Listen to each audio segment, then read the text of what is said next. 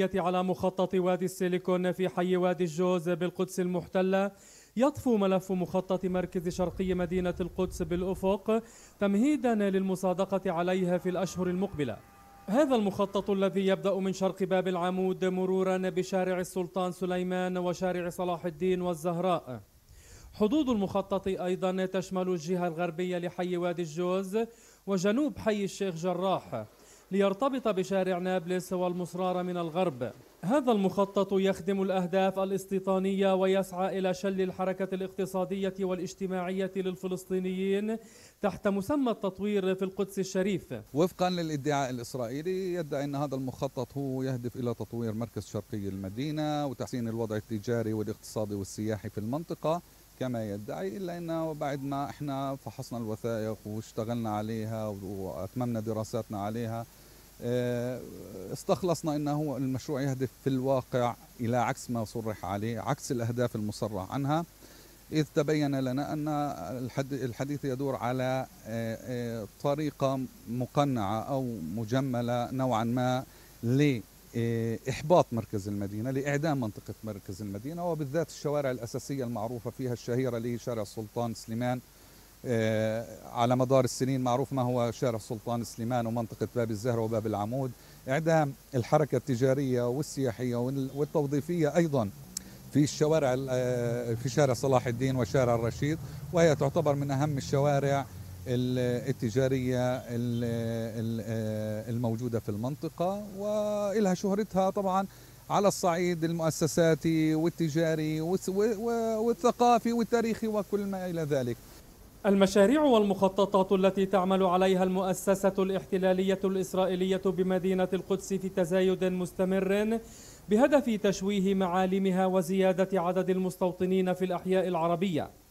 حيث يعتبر مخطط مطار قلنديا من أكبر هذه المخططات بعد أن تم قطع شوط كبير في مراحل المصادقة على بناء تسعة آلاف وحدة استيطانية وفنادق ومراكز تجارية بالإضافة إلى مرافق عامة. فرغم الاعتراضات التي يقدمها الفلسطينيون إلا أن بلدية الاحتلال لم تأخذها بالاعتبار وتمضي قدمان بتنفيذ هذه المشاريع رغم عدم قانونيتها. موضوع الاعتراضات هو موضوع إجراء شكلي بيجبر بلدية القدس على إنه يكون في فترة معينة للاعتراضات لتقديم الاعتراضات. لكن هاي الاعتراضات بكل المشاريع اللي قامت بها بلدية القدس لم تقبل أي اعتراض كان من أي من أي معترض على مدار على مدار سنوات كثيرة. يعني في كل المشاريع في كل المشاريع كانوا يستخدم هذا الإجراء إنه الناس تتقدم تقدم اعتراضاتها. أغلب غالبية الاعتراضات كانت تكون اعتراضات قانونية 100% كملكية أو كأضرار على السكان أو كأضرار على على المشاة أو كأضرار وغيره من الأضرار. لكن هي إجراء شكلي. بلدية القدس ما بتقوم ولا بمشروع في مدينة القدس خاصة في في الشطر الشرقي لمدينة القدس إلا لأسباب سياسية أسباب تهويدية بحتة. يوجد تخوف وقلق لدى الشارع المقدسي من تعاقب مخططات الاحتلال الهادفة لتغيير معالم المدينة المقدسة والتضييق على سكانها وتجارها بهدف إفراغها من الهوية والوظائف الفلسطينية. تأتي المصادقة على تنفيذ هذه المخططات الاحتلالية المتسارعة الهادفة إلى تغيير وتشويه معالم القدس في الوقت الذي عادت فيه نبرة الحديث عن سلام التطبيع مع الدول العربية وسط تغييب كامل للمدينة المقدسة وأهلها. رامي نصر الله خبير التخطيط الحضري في القدس الشريف. تحياتي لك دكتور رامي. السلام عليكم تحياتي. كما شاهدنا في التقرير وكما تابعنا الأخبار التي تتحدث عن مخطط كبير وبدون أدنى شك حضرتك خبير في التخطيط تدرك ربما بالتفاصيل يعني الهندسية والعملية والتخطيطية ما يمكن أن يضيف تفسير أكثر لما يجري. بداية يجب أن نشير إلى أن منذ العام 2018 قامت إسرائيل بالتسريع بالمصادقة على كم هائل من المخططات المتعلقة بالبناء الاستيطاني والتطوير في الجزء الغربي والمستوطنات الواقعة داخل الأراضي المحتلة. وهذه مخططات لم يعد هنالك أي خجل أو أي اعتبار لأي موقف سياسي حتى للولايات المتحدة في التسريع في عملية آه، هذه المخططات. في المقابل آه، سعت إلى آه، تخطيط بعض المشاريع التي لها أهداف سياسية مثل مركز المدينة. وبالمناسبة هذا المخطط مر أكثر من 18 شهر على عملية طرحه للاعتراضات. نعم. وتم تأجيل تمديد البت فيه حتى شهر 11 القادم نوفمبر القادم. ولكن لسبب يتعلق بشكل واضح للتنسيق مع سلطة الحدائق الوطنية وسلطة الآثار وبالتالي نعني الحركة الاستيطانية المتطرفة التي تعمل على إدارة المواقع والمعالم المحيطة بالبلدة القديمة بما فيها باب العمود وسلوان والصواني وجبل مكبر إلى آخره. هذا هو الهدف من التأجيل أي أن يتم آه، آه، المواءمة أن تتم المواءمة بين القرار السياسي الذي اتخذ في أيار الماضي بتخصيص 125 مليون دولار لما يسمى بتطوير الحيز العام اليهودي وأنشطة وفعاليات مرتبطة بيوم القدس الإسرائيلي أو مسيرة الأعلام والهدف هو تقوية آه، المكانة اليهودية في البلد القديمة. المخطط أو التمويل الذي آه، آه، صادقت عليه الحكومة الإسرائيلية في أيار الماضي لا يخفي, لا يخفي بالمطلق الهدف. الهدف هو الحفاظ على تطوير الموروث اليهودي في البلدة القديمة ومحيطها ويشمل ذلك جبل زيتون وجبل مكبر سلوان والثوري فهنالك نوع من المواءمة بين المنع للتطوير الفلسطيني وضبط الوجود الفلسطيني وعزله بالمطلق عن البلدة القديمة. في بالمقابل آه السعي إلى مخططات تتعلق بالهوية والرواية اليهودية في البلدة القديمة ومحيطها. نعم. وعلى فكرة هذا القرار يشمل آه، الحوض المرئي للبلدة القديمة وليس فقط البلدة القديمة ومحيطها المباشر. شو المقصود فهذا هو الهدف وهذا هو التداخل بين المخططات الإسرائيلية والمخططات آه، آه، التي تمنع الوجود الفلسطيني وتقزمه. نعم. شو المقصود بالحوض المرئي يا دكتور؟ كل منطقة تطل على البلدة القديمة من جبل نعم. مكبر نعم. جنوبا آه، إلى جبل الزيتون آه، شرقا إلى تمام. منطقة الشيخ جراح شمالا كل تمام. هذه المنطقة تم شمولها داخل الأولوية في تحديد ما يسمى إعادة موضعة وإحلال الهوية والرواية اليهودية للبلدة القديمة طيب بنشوف في وحضرتك ذكرته في التقرير أيضا أنه كان هناك فترة اعتراضات بأي سياق بيجي هذا طالما أن هذا مخطط ومش يعني ما حد سائل عن يعني ردود أفعال أي. لما يقول أنه هناك فترة للاعتراض هل مثلا حصلت اعتراضات؟ بغض النظر تم التعامل معها أو دون أن يتم التعامل معها. هنالك اعتراضات آه، الاعتراضات جزء منها هو مجرد آه، محاولة بائسة من طرفنا لغياب المبادرة ولغياب التخطيط الفلسطيني البديل. آه، جزء منها يتناول الإشكاليات الفنية والتقنية داخل هذه المخططات وهنالك الكثير منها لأن المخطط يهدف إلى تجميد مجدد لما هو مجمد من العام 1967 نعم. ما أقصد به أن مركز المدينة بقي كما هو عليه. أي, أي فلسطيني أو أي عربي آه، يعرف القدس قبل 67 لو أتى إلى القدس وزارها لن لن تخفى عليه أي معالم. بقي المركز كما, هو عليه. نعم. فبالتالي إسرائيل جمدت فعليا لأكثر من خمس عقود هذا هذا المركز. الجديد أنه تم فصل هذا المركز عن البلدة القديمة وفصل باب العمود ومنطقة المسرارة عن هذا المركز بهدف تحويل المعالم الرئيسية من الحدائق الوطنية المحيطة بأسوار البلد القديمة بمنطقة آه، وادي حلوة في منطقة مغارة سليمان في آه، باب باب العمود كل نعم. هذه المعالم تحويلها إلى رواية يهودية جديدة هذا واضح. هو الهدف نعم. فبالتالي نعم. إحنا نتحدث عن مخطط شكلي فيما يتعلق بالتطوير الفلسطيني ولكن هدفه هو إضعاف الوجود الفلسطيني الوظائفي المؤسساتي الاقتصادي نعم من وجهة نظر حضرتك أكثر المشاريع خطورة على مستقبل شرق القدس والبلدة القديمة حدث ولا حرج يعني كل شيء خطير يعني كل ولكن هنالك آه، آه، أحيانا آه، نوع من السذاجة بالتعامل مع العلاقة بين الحركات الاستيطانية المتطرفة وهي فعليا ذراع سيادي للحكومة الإسرائيلية منذ الثمانينات. هي التي تقوم بالمبادرة وبالحصول على التمويل الحكومي لإقامة حدائق وطنية والسيطرة على حيزات فلسطينية وبيوت فلسطينية ولكن هي مدعومة من الحكومة الإسرائيلية. اليوم أصبح جليا وواضحا أن هذه المجموعات هي جزء من الحكومة جزء من الحكومة الإسرائيلية فلم تعد فقط الذراع السيادي آه، آه، التي تتهم أحيانا بأنها هي خارج ال ال ال الإجماع الإسرائيلي. هي ليست خارج الإجماع الإسرائيلي. هي تقوم بتنفيذ مشروع كولونيالي استعماري لا يختلف كثيرا عما قامت به إسرائيل منذ نشأتها. نعم.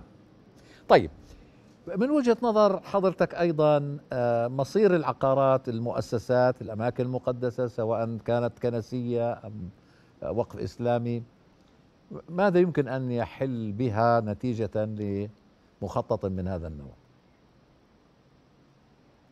هنالك إشكالية كبيرة في هذا في هذا الموضوع خاصة أن قانون تنظيم البناء الجديد استثنى تعريف من المؤسسات الخاصة من أنظمة التخطيط والبناء. أي أن كل المؤسسات العامة يجب أن تكون تحت البلدية أو الحكومة الإسرائيلية ولم يعد هنالك آه، تصنيف يسمى بالمؤسسات الخاصة. الادعاء الإسرائيلي خلال جلسات الاعتراض أن لن يكون هنالك هدف لمصادرة الأملاك الوقفية والكنسية باعتبار أنها خاصة. ولكن نعم. من الناحية التخطيطية لا يوجد تصنيف يسمح للأوقاف الإسلامية والكنائس بالحفاظ على أملاكها باعتبار أن هذه هي عبارة عن مؤسسات عامة. طيب كيف بتعاملوا المحامين والمؤسسات المقدسية مع هذه الاعتراضات؟ يعني الآن في وصف غير واضح. ممكن يقول لك أنا ما بتعامل معها كحقيقة واقعة ومن ناحية أخرى حضرتك بتقول أنه يعني هو أصلا فيش إمكانية لتغييرها. ف شو البناء القانوني اللي ممكن يعترضوا من خلاله لدى الجانب المحتل الإسرائيلي؟ هو الاعتراض بحد ذاته آه، غير كافي وهو قليل القليل. نعم. المطلوب منذ سنوات هو المبادرة في مقاومة التخطيط الإسرائيلي من خلال جهود مهنية وقانونية فلسطينية مدعومة بجهات خارجية لتقوم بتخطيط الأحياء الفلسطينية. سيدي لا يوجد مخطط تفصيلي لأي من الأحياء الفلسطينية اليوم. لم يتم بناء أي حي جديد منذ العام 67 إلى اليوم. نعم. وإسرائيل تقوم بالقضاء على الأراضي الفارغة التي ممكن أن تكون مخصصة للفلسطينيين. أعطي مثال بسيط. نعم. هو آه، قضية مطار القدس الدولي. مطار القدس الدولي آه، في شهر آه، حزيران الماضي تم مناقشة مخطط لإقامة مستوطنة 9000 وحدة سكنية. هذا هذا المخطط آه، على وشك تم قبوله من الناحية الإجرائية. يشمل أيضا 40 ألف متر لأغراض التجارة وحوالي 300 ألف متر لأغراض التشغيل أغراض الامبلويمنت عملية التشغيل. هذا المخطط هو على أرض آه، مطار القدس الدولي. ويشمل أيضا أجزاء الأجزاء الشمال آه، غربية من آه، قلنديا من منطقة قلنديا أو محيط المطار. هذا المخطط هو هدفه منع التطوير الفلسطيني باعتبار أن التواصل الفلسطيني هو من من البلد القديمي القديمة شمالا وبالتالي القضاء على أي نوع من التواصل الفلسطيني من خلال إقامة مستوطنة. فالهدف هو جيوسياسي بالأساس ومنع التطوير الفلسطيني آه، من خلال تسريع التخطيط الإسرائيلي أولا ومن خلال ضبط ومنع الوظائف والتخطيط الفلسطيني من الناحية الأخرى. اسمح لي ولابد أنكم على اتصال مع هيئات تمثل جهات دولية غربية. هل بدأ التعامل مع ما يجري في القدس كأمر واقع بأنها عاصمة إسرائيل وهي تتصرف بها كما تشاء أم أن هناك ما يزال ما يمكن أن يشير إلى أن كل ما يجري في القدس الشرقية هو باطل من وجهة نظر القانون الدولي. وين هل بقيت مسافة يعني بين النظرتين؟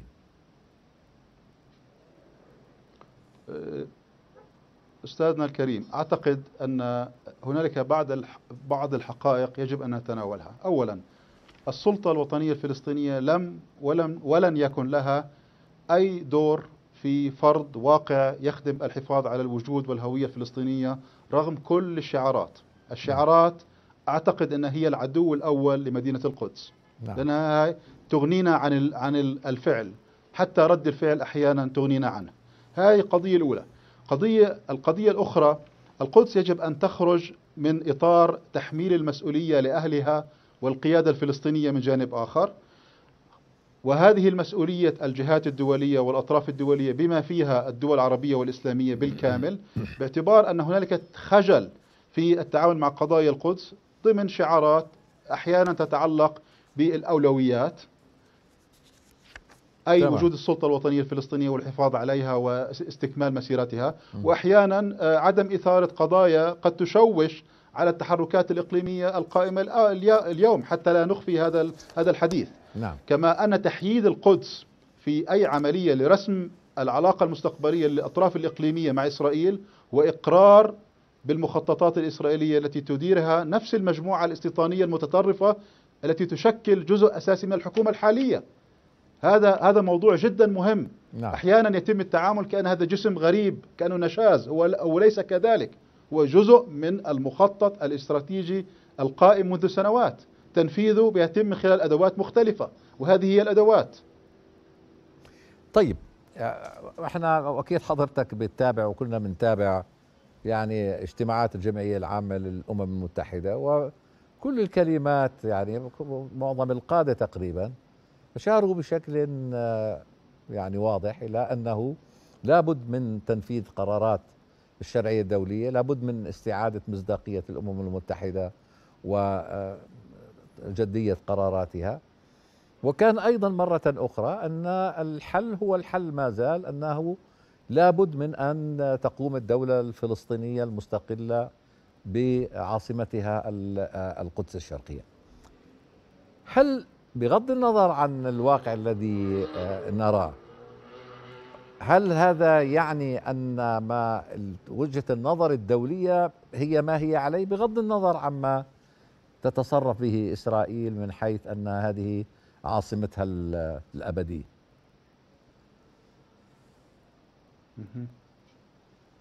يعني لا أدري من أين أبدأ لأن موضوع الدولة والعاصمة غير مطروح أصلا. نحن نتحدث عن آه، ال- الحفاظ على الوجود الحفاظ على المنعه الفلسطينية داخل القدس. تمام. نحن نخسر كل يوم. البلدة القديمة أصبح عدد سكانها من 30 ألف فلسطيني إلى أقل من 20 ألف فلسطيني خلال عشر سنوات. نعم. البلدة القديمة اليوم هويتها و- والحضور فيها ليس فلسطيني هو مستوطنين. يعني تخيل أن الأطفال الأطفال المستوطنين هم من يلعبون بكرة القدم في أزقة البلدة القديمة وفي على الدراجات الكهرباء على الدراجات آه، آه، يستعملون هذا ما كنا نفعله ونحن أطفال. نعم. تم استبدال تم تم إحلال لهوية البلدة القديمة وهذا لا ليس فقط في أجزاء من البلدة القديمة ولكن في معظمها. فبالتالي نتحدث عن الحفاظ عن الوجود في قضية جدا مهمة هي تشكل رمزية أساسية لمستقبل العلاقة مع ال- الدولة الإسرائيلية. نعم. هو قضية السيادة على المسجد الأقصى.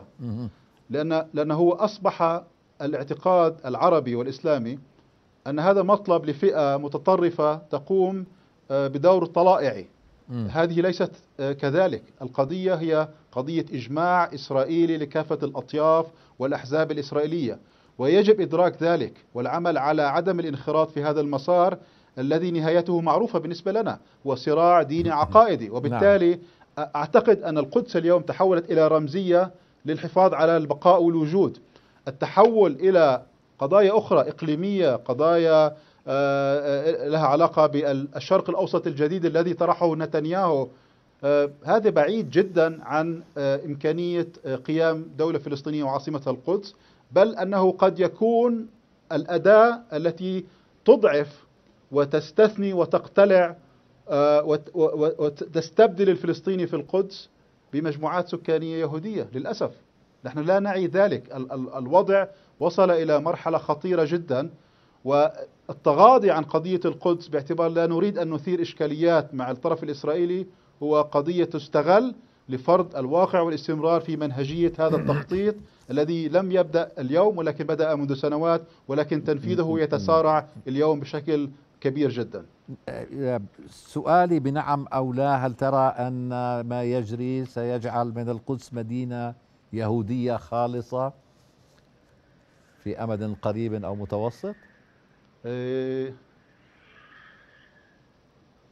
نعم لا و... لا ونعم نعم. وهذا مربوط بوجودنا وبإصرارنا على البقاء. تمام. وهذا مربوط آه. في القدرة على تعزيز المنع الفلسطينية. أنا أريد بس وهذا يتطلب نعم. أن نعم. أنا أريد من هذه الناحية أن تودع هذه أن وديعة تقول لنا ما, ما الذي يملكه المقدسيون ومن معهم وأنت تعرف من معهم. في آه، الصمود أمام هذا هذا المشروع مشروع المدينة اليهودية الخالصة. فعليا نحن أفراد قدرة الأفراد على التغيير محدودة جدا.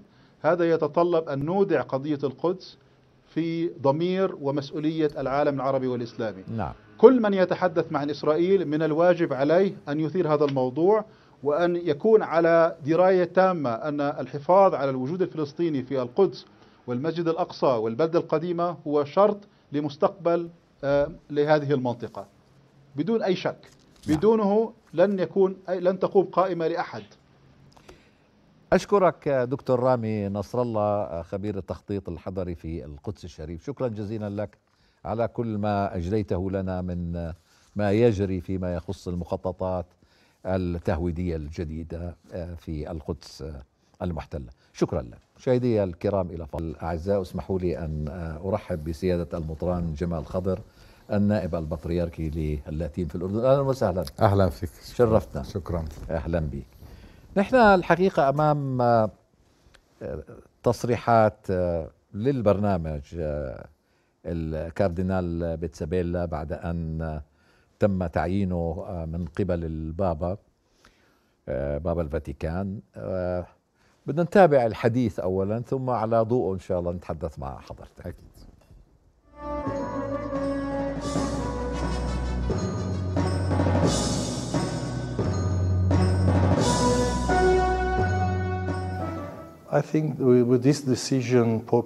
أعتقد أن هذا القرار بتعيين كاردينال فإن البابا فرانسيس يريد أن يؤكد على أهمية القدس في العالم المسيحي وليس فقط في العالم الكاثوليكي بل لجميع المسيحيين. وأن تكون مهمة الكنيسة والكرادلة لهم صلاحيات وأن تكون صوتا مهما للمسيحيين. والكنيسة في هذا الوقت المعقد بالشرق الأوسط وخاصة في أرضنا. أعتقد أن أهم شيء بالنسبة للمسيحيين أن يسمع صوتهم وأن يكونوا جاهزين للتواصل والحفاظ على أسلوب حياتهم في هذا المحتوى المعقد. والجميل.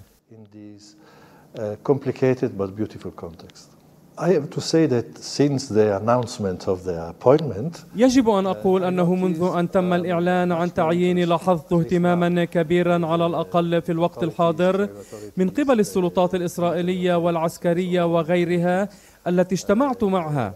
ولقد التقيت مع الرئيس الإسرائيلي والرئيس أبو مازن أيضا.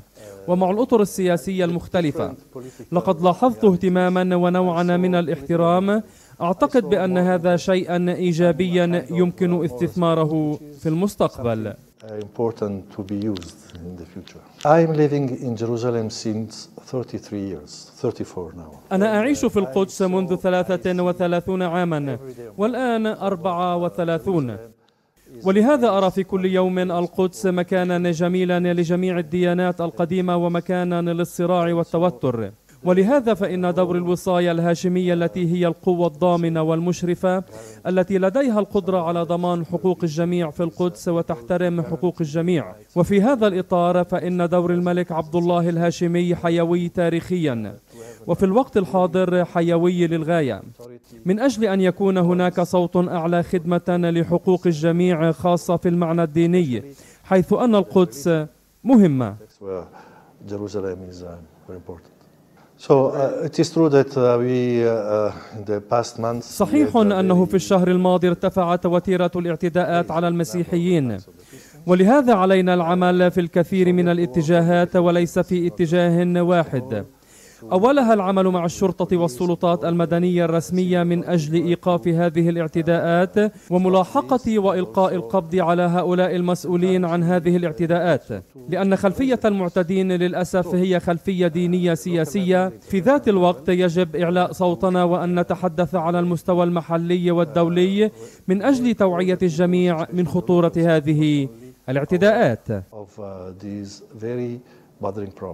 I'm asking what does it mean exactly international community? أنا أتساءل ماذا يعني بالضبط المجتمع الدولي أنا لست راضيا كثيرا بالصدق عن هذا الدور كما نشاهد المجتمع الدولي يركز على صراعات أخرى وبالنسبة لهم الوضع في الأراضي المقدسة ليس في قلب أولوياتهم The Holy Land uh, is not at the heart of their concerns. أولا إن مستقبل المسيحيين في الأرض المقدسة يعتمد على عدة عناصر وليس عنصرا واحدا أو اثنين. القلق الأول الذي يؤثر على حياة المسيحيين وليس المسيحيين بل المسلمين أيضا فهم جميعا في هذا الصراع. وطالما أن الصراع مستمر فإن الصراع العسكري والعنف سوف يستمر والاحتلال. ولهذا من الصعب أن تقنع خاصة الشباب أن يتحدث بصورة إيجابية وجميلة عن المستقبل. هم يريدون أن يبنوا عائلات لهم تعيش حياة طبيعية كبقية العالم. ويجب أن نتحدث عن ذلك حتى يفهم الجميع أن هناك صراع والصراع لم ينتهي بعد. ثانيا يجب العمل على دعم المجتمع المسيحي. فعندما يكون هناك صراع وتوتر فإن وحدة المجتمع مهمة من أجل دعم بعضنا البعض. وبعدها نعمل على الأسباب الحقيقية والعمل على الإيمان. فبدون الإيمان لا يوجد ما هو أهم. وأيضا يجب دعم المجتمع المسيحي بكل ما يحتاجه. مثل خلق وظائف وبناء مشاريع والسكن والمدارس والجامعات وكل ما له علاقة بالحياة الطبيعية يجب أن تكون الكنيسة ليس فقط للكاثوليك بل من أجل المجتمع. As I said, uh, it's not simple to live here. كما قلت ليس سهلا العيش هنا. كل شيء معقد. حتى الأمور الطبيعية مثل الحركة الذهاب إلى المستشفى أو العمل أو إيجاد منزل كل هذه الأمور صعبة في كل مكان. ولكن هنا معقدة أكثر لأنك بحاجة إلى تصاريح. هذه التصاريح لا تعطى. وإن أعطيت فهي متأخرة. حتى إن الثمن المدفوع قد يكون سياسيا لأن الصراع مستمر. كل هذه الأمور يتأثر بها المسيحيين أيضا. ليس لدينا المصادر الاقتصادية والمالية من أجل حل كل هذه الأمور. هذا يخلق في بعض الأحيان لا أريد أن أقول احباطا بل قلقا لدى الأجيال الشابة. كيف يعيشون في مجتمعاتهم؟ ماذا سيفعلون في المستقبل؟ وهم يفضلون السفر خارج البلاد وهكذا. وكما هو معروف فإن المجتمع المسيحي لديه درجات تعليمية عالية ويريدون مهنيا أن يحصلوا على الرضا والمكانة. وهنا هذا صعب جدا. لهذا أعود على ما قلته سابقا. الإيمان. الإيمان يعطيك رؤية وقوة لمقاومة هذه الأوضاع وأن تعمل من أجل البقاء والصمود. Uh, to resist all these uh, situations, to be resilient. First of all, we have to love them. Without love, أولا يجب أن نحبهم. بدون حب لا توجد حياة. وبعدها نسمع صوتنا عاليا في المجتمع الدولي. وأن نوفر الدعم من الكنيسة الكاثوليكية حول العالم من أجل إيجاد جميع الوسائل لدعم وخلق فرص عمل ومشاريع وكل ما هو ضروري من أجل خلق واقع على الأرض وليس فقط بالأقوال. ومن الأهمية لنا كمسيحيين هنا بأن لا نفعل كل شيء لوحدنا. يجب العمل مع الآخرين. أولا مع الكنائس المسيحية الأخرى وأن نعزز العلاقات ونوثقها وأن نبقى مع الكنائس المختلفة ونتوحد في الرؤية من أجل دعم المجتمعات المسيحية.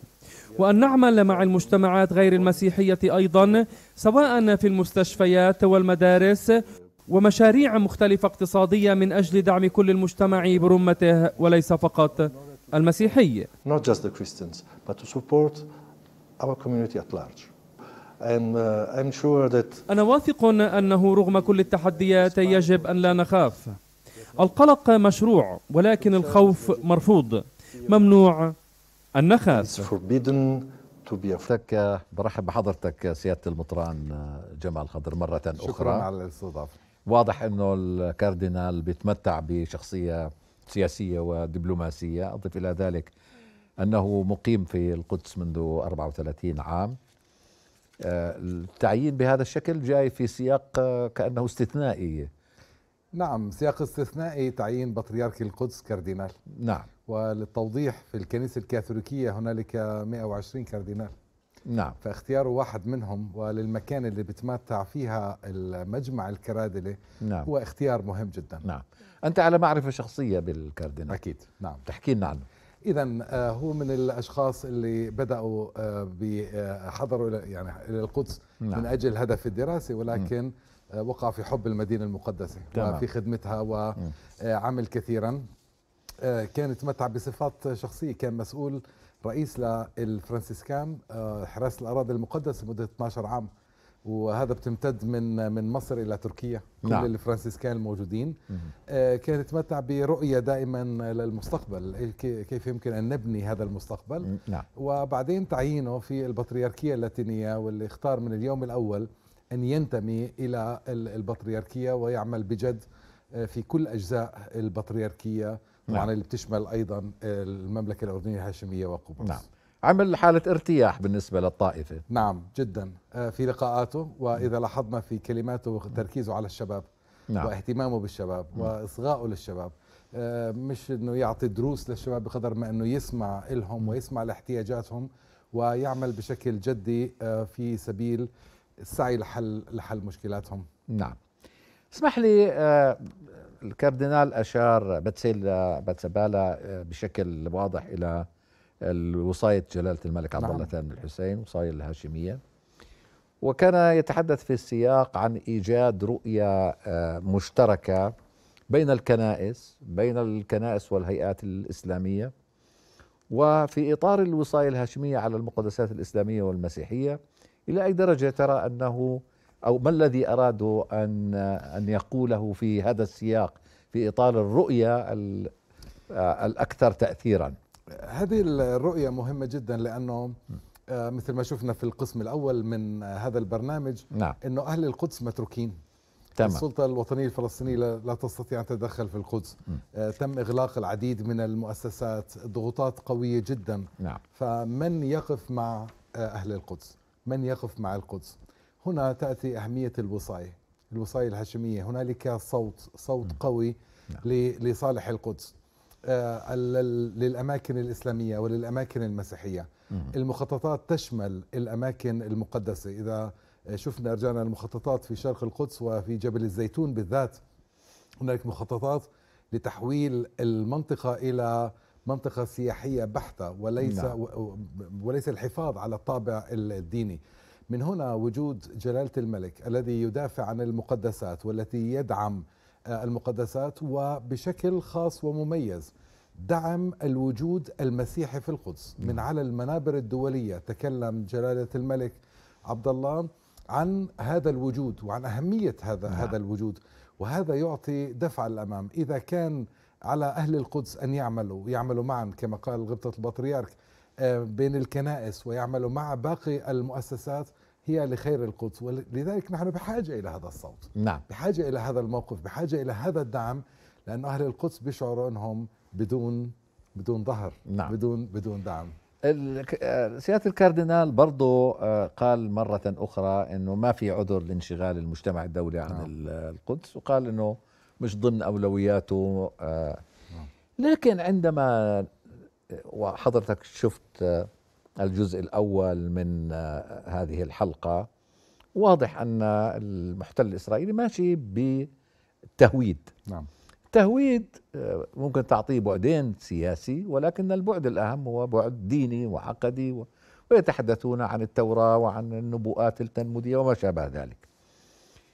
اليوم في المقابل لما نقول المجتمع الدولي المجتمع الدولي أيضا صحيح أنه سياسي ولكن له أيضا صفة دينية. عندما نتكلم عن دول الغربية نتكلم عن دول مسيحية وصحيح أن الحكومات يعني علمانية ولكن كل شخص وكل رئيس في في داخله شيء من الكنيسة التي ينتمي إليها. كيف ممكن يكون في يعني صياغة موضوعيه توصف هذا الوضع بشكل صحيح حتى تقول للآخرين وين هي المسؤوليات المترتبة عليه؟ الجانب اللي طرحته مهم جدا خصوصا في موضوع الرواية نعم. والرواية الدينية واستغلال الرواية الدينية لتهويد القدس وللسيطرة عليها. وللأسف هنالك العديد من المسيحيين في الغرب نعم. يتبنون هذه الرؤية الصهيونية الدينية نعم. فيما يتعلق في في القدس هنا يأتي دور الكنائس وهنا يأتي دور الوجود المسيحي بشكل بشكل خاص هنالك جهد كبير قام به يقوم به الفلسطينيون المسيحيون. نعم. لفضح هذه الرواية الصهيونية م. والاستغلال الدين والاستغلال الكتاب المقدس. هنالك عشرات المؤتمرات واللقاءات إن كان في فلسطين أو في الخارج لشرح هذه الرواية. نعم. موضوع الرواية موضوع مهم جدا. تحويل مدينة القدس إلى عاصمة داود قبل ثلاثة ألاف سنة هي بناء على أساطير. نعم. بينما القدس اليوم التي تحتاج إلى أن, أن تحترم هوية القدس وهنا دعني أتكلم عن المكون المسيحي في في القدس نعم. أهمية الوجود المسيحي على عدة مستويات بينها أنه جزء أصيل من هذه المدينة من تمام. 2000 سنة نعم. ولا يمكن أن نتخيل مدينة القدس بدون المسيحيين الناحية الثانية هي ناحية الرواية وفي الغرب سهل جدا أسهل على إسرائيل أن تحيد المسيحيين أو أن تلغي وجودهم لأنه تؤيد هذا الكلام يؤيد روايتها أمام العالم نعم. أن الموضوع هو صراع مع التطرف الإسلامي وهذا ليس صحيح نعم. بالتأكيد ولكن الصوت المسيحي هو الذي يستطيع أن يتحدى هذه الرواية الدينية التي يقوم بها اليهود اذا الرواية الدينية الصهيونية المبنية على العهد القديم الكتاب المقدس. وأيضا الرواية أمام العالم بأن هذا صراع هذا احتلال. تمام. هذا احتلال. فهنا الوجود المسيحي الصوت المسيحي صوت غبطة البطريرك الكاردينال. اليوم أمام الكنيسة الكاثوليكية أمام العالم كله. دعني أذكر أنه في الاجتماع الأخير ما بين الرئيس الأمريكي ورئيس الوزراء الإسرائيلي وصلت رسالة إلى الرئيس الأمريكي من مجموعة من الكنائس الكبيرة في الولايات المتحدة تذكر الرئيس بضرورة تأكيد على حرية العبادة على ضمان الحرية للأماكن المقدسة وعلى وقف هذه التعديات المتكررة والمتسارعة ضد الوجود المسيحي والمسيحيين في مدينة القدس. نعم. إحنا يمكن تابعنا في هذا البرنامج مرات عديدة ومستمرين في كل الاعتداءات التي تحدث على الكنائس تحدث أيضا على الرموز الدينية المسيحية. وكما أشار أيضا الكاردينال إلى أنه في ضغوط بتعرضوا لها الشباب و... وبيأسوا وبقول لهم مش لازم تخافوا واهم وأنه جزء بقائكم مربوط بالإيمان بطبيعة بطبيعة الحال. لكن هذه القضية أحيانا يقال أن يعني الشباب المسيحيين تيسر لهم الأمور كي يغادروا القدس. ربما مبالغ في أن نقول تيسر ولكن طبيعة اهتمامهم بالتعليم على سبيل المثال نعم يسهل لهم م. عملية ال ال إيجاد فرص عمل وإيجاد فرص للدراسة في في في الخارج تمام. مع المدارس المميزة الموجودة في مدينة القدس ومع التركيز مع مع فقدان كل شيء آخر التركيز على التعليم. تمام. فالتركيز على التعليم هو ما طبيعي. يساعد طبعا. حق نعم. طبيعي. نعم. آه ويعني وجود آه أيضا أعضاء من العائلة يسهل آه هجرته وهذا اللي آه تبذل الكنيسة جهد كبير لمنعه. خلينا هنا أذكر أيضا بدراسة انعملت قبل عدة سنوات واللي ظهر فيها إنه الكنائس في فلسطين هي ثالث أكبر مشغل في فلسطين. بعد السلطة الوطنية الفلسطينية ووكاله الغوث. أها. فالمؤسسات المسيحية لمختلف الكنائس نعم. إيجاد الوظائف إيجاد الوظائف في مدينة القدس نفسها إلى آخره هذا عمل على أرض الواقع من أجل تثبيت الشباب المسيحي في المدينة. يحتاج إلى عمل وإلى سكن. هذه نعم. الأمور الرئيسية. يعني في رأي حضرتك أنهم لا يتعرضوا للضغط لأنهم مسيحيين نعم. ولكن لأنهم مقدسيين. صحيح 100% وهذا نفس الضغط. يعني بروح على مدينة القدس بتجول في مدينة القدس بتقدرش تميز مين مسيحي مين مسلم. تمام. ولكن ال- العربي المقدسي وبالنسبة للمتطرف اليهودي أيضا مش مميز. لا لا يميز. نعم. لا يميز ابدا. مع عداء خاص للرموز الدينية المسيحية من قبل هؤلاء المتطرفين. طيب. واقع وضع يعني هو أشار الكاردينال آه، بتسبالا إلى أنه أجرى محادثات مع الرئيس الإسرائيلي ومع الرئيس الفلسطيني وأنه يحاول أن يجد مسافة يعني معقولة من التفاهم مع الأطراف الإسرائيلية وغيرها. لكن آه، هل يعني تتوقع أن تعيينه ممكن أنه يعمل رد في أقوى بالنسبة لاعتداءات المتطرفين يهود الكنائس ومسيحي القدس باعتبار إنه هم عارفين إنه هو يعرف يعني كل شيء نعم. ما, ما, ما الذي يجري. نعم. آه هذا التعيين ككاردينال م. يعطيه صوت أقوى. نعم. آه على مستوى العالم. قبل كان ولا يزال طبعا بطريرك مدينة القدس وهذا منصب له مرموق نعم ولكن على مستوى الكنيسة الكاثوليكية وعلى مستوى العالم أن يصبح كاردينال يصبح صوته أقوى في آه، حواراته وفي لقاءاته مع الكنائس أيضا الموجودة نعم. في مختلف أنحاء العالم. فتعيينه كاردينال يعطيه مكانة تسمح له أن يدافع أكثر عن مدينة القدس وأن يكون له تأثير أيضا سياسي مع أصحاب القرار نعم. آه، بهذا التعيين. خاصة أنه هو قادر على تشخيص كل ما يجري نعم. آه، بوصف دقيق بدون مبالغة بدون آه، وعلى لكن- فكرة هو بيتكلم اللغة العبرية. ولا آه، يستطيع نعم. أحد أن يتهمه أنه معادي لأي شخص نعم. ولكن دفاعه عن مدينة القدس والحفاظ على الأماكن المقدسة وعلى أهل مدينة القدس وكما ذكر مسيحيين ومسلمين لأنه ما يعني آه، ما هو خير لل- للمسيح وخير نعم. لأهل لأهل القدس جميعا. شو بيقصد وضع معقد ولكن جميل؟ آه، بحاجة إلى خبرة العيش في مدينة القدس. نعم. التنقل في القدس صعب. آه، بروح على القدس دائما ولا أملك تصريح لدخول القدس حاليا. نعم نعم. آه، ال- ال- الصعوبة في أن نجد المستوطنين في كل الشوارع حتى في باب الخليل وباب العمود. نعم. آه، في ال- الحواجز في تواجد الجيش اللي موجود آه، في الوصول إلى الأماكن المقدسة وإلى آخره في صعوبة هذه موجودة. ولكن ال- التواجد في مدينة القدس الصلاة في مدينة القدس نعم. التجول في شوارع القدس لا تعوض. نعم. فهذا الحب لهذه المدينة هو الذي آه، عناه بكلمة أنه هي- هو واقع جميل أكيد. نعم. يعني القدس رائعة وجميلة وجذابة آه، وال- وقريبة من القلب لكل مؤمن. نعم. لكل مؤمن. ونرى ذلك لجميع المؤمنين. وحتى من يصلوا في آه، ال- المسجد الأقصى. سهل يوصل للمسجد الأقصى؟ يعانوا كثيرا. تمام. ولكن آه، الصلاة في المسجد الأقصى تستحق كل هذه المعاناة. الصلاة في مد... كنيسة القيامة تستحق عبور كل الحواجز ال- التي توضع في الأسبوع المقدس مثلا. نعم. وكل العوائق.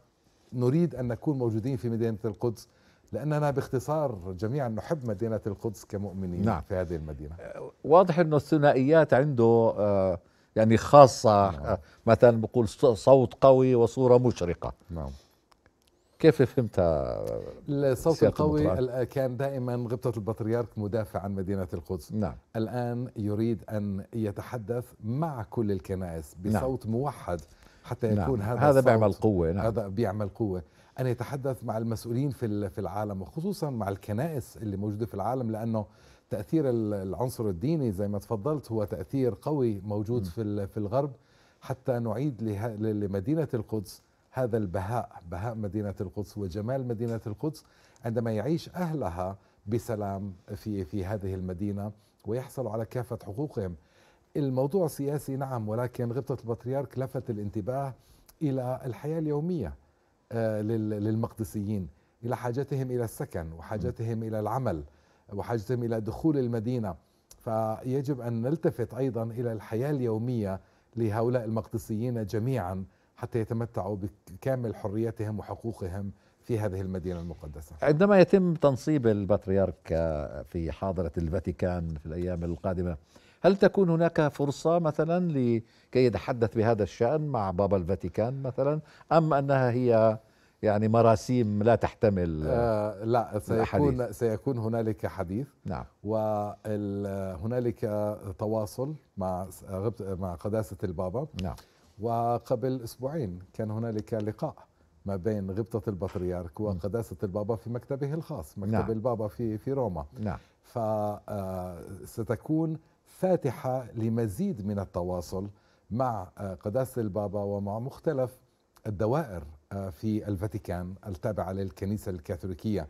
آه، الاحتفال نفسه سيكون احتفال رسمي ولكن سيكون هنالك مناسبة للقاء الشخصي مع قداسة نعم. البابا. هل تتصور أن هناك فرصة لأن تكون القدس مدينة كل الأديان مثلا؟ أم أن هذا المشروع الذي نراه وهذه وهذا التطرف في طرح المسألة.